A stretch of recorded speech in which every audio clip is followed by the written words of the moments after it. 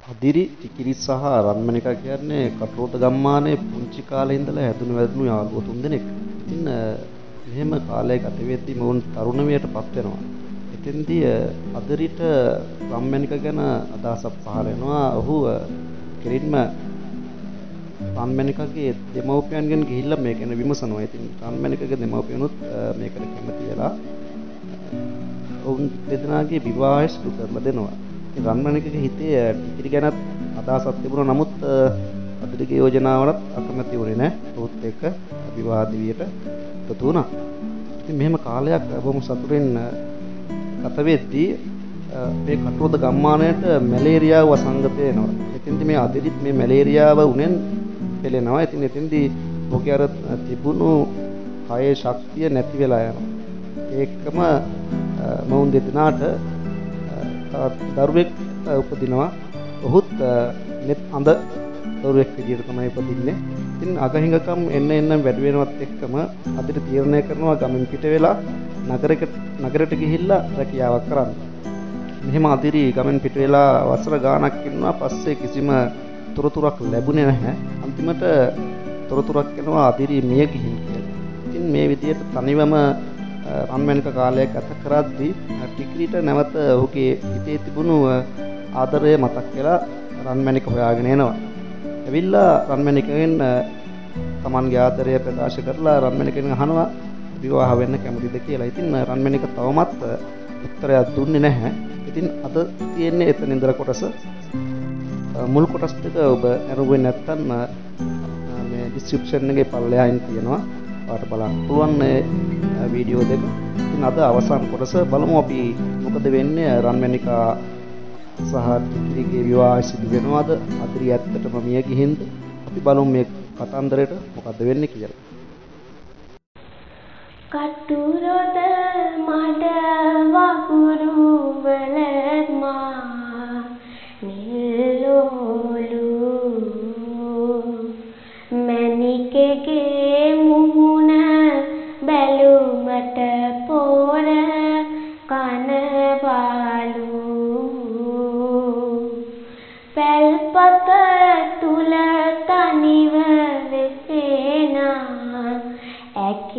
පාලු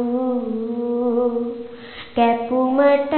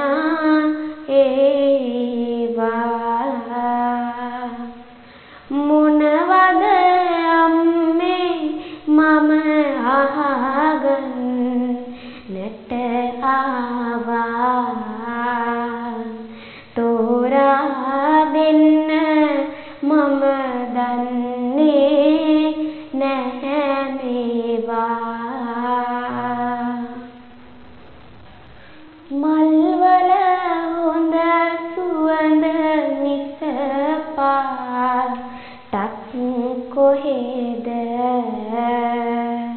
ඒවා මොලොක් බවතේ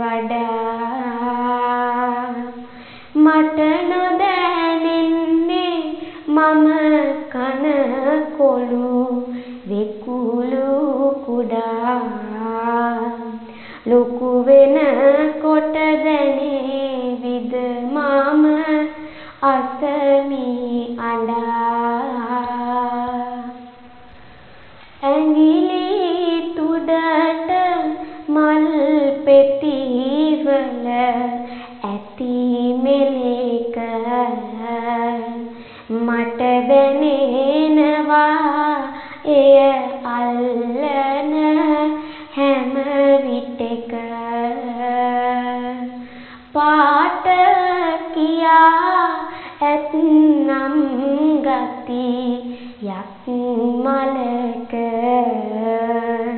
අම්මේ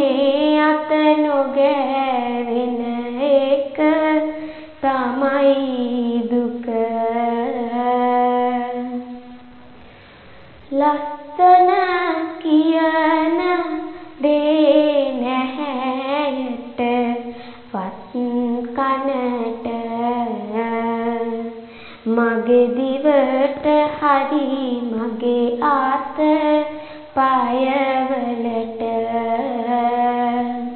නොදැනෙන්නේ මොකද තෝරා දින කලට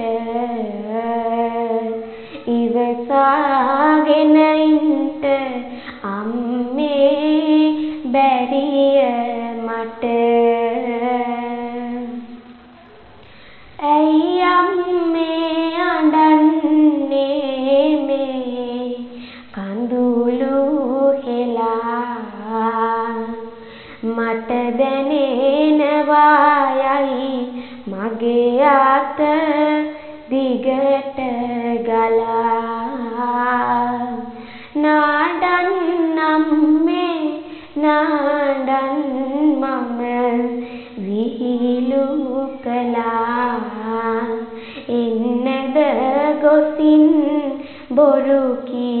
Nicole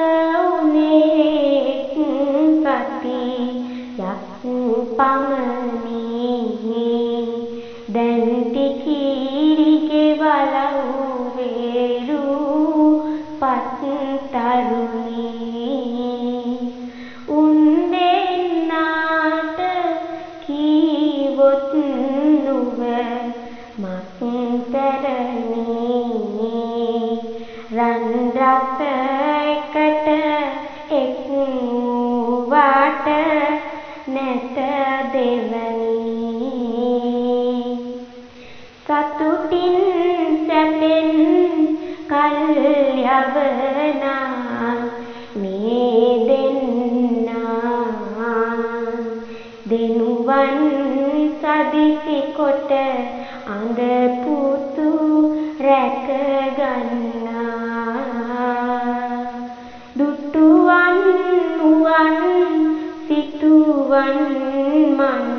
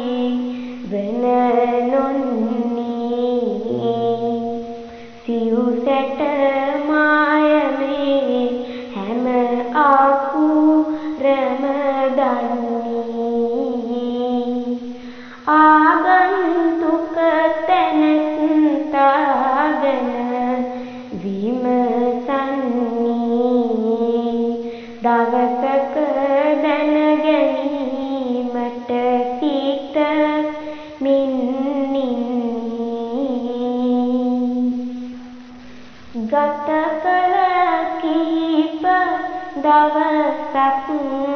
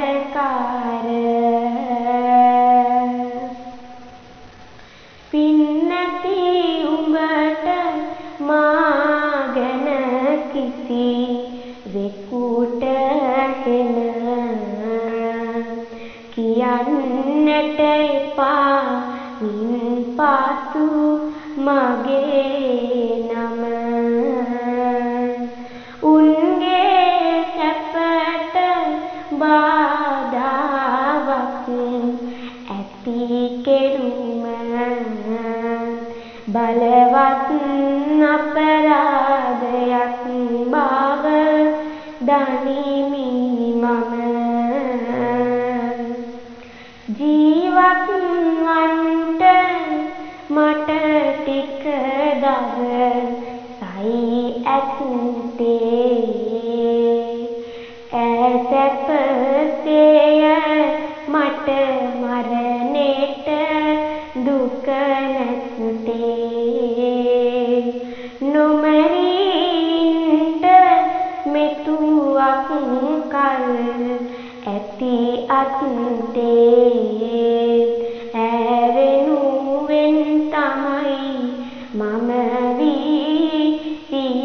sắc tiền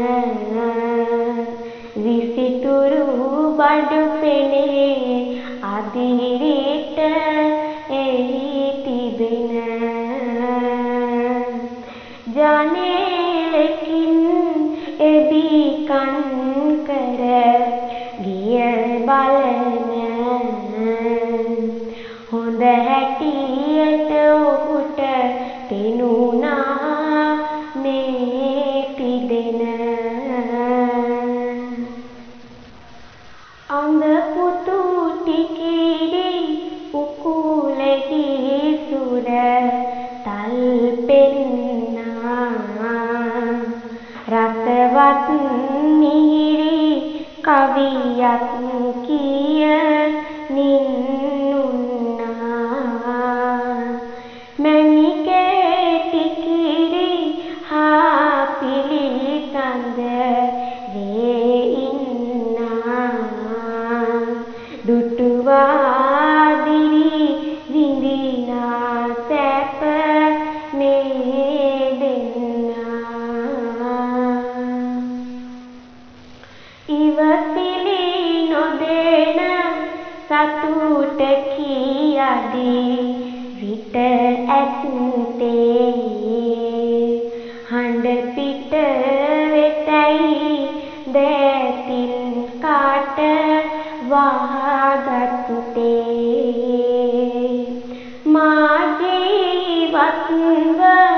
अति भव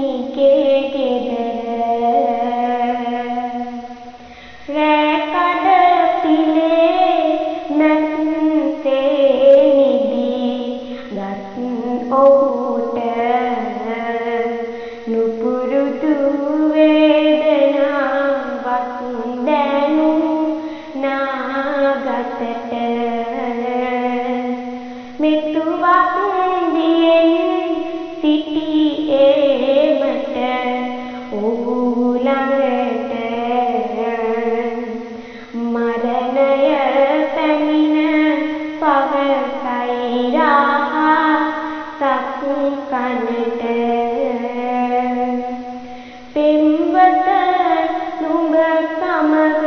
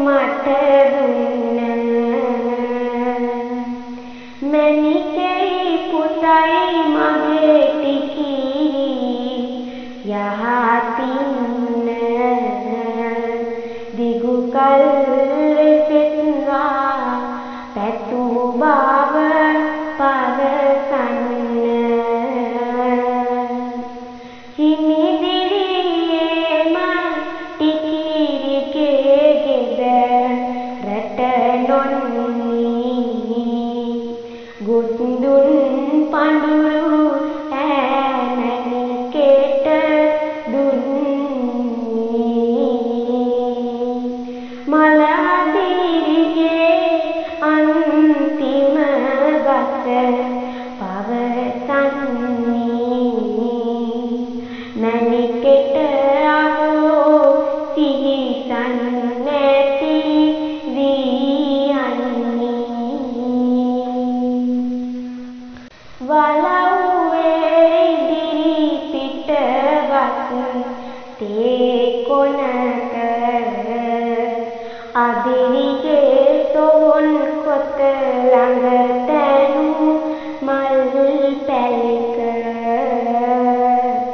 你给。